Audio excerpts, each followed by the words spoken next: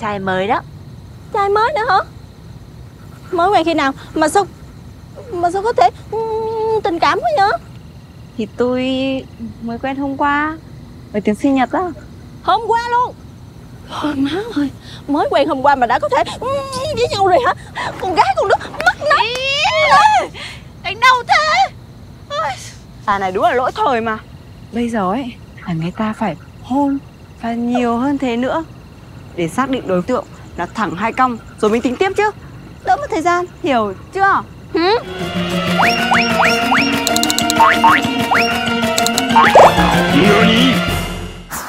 Trai mới đó. Trai mới á?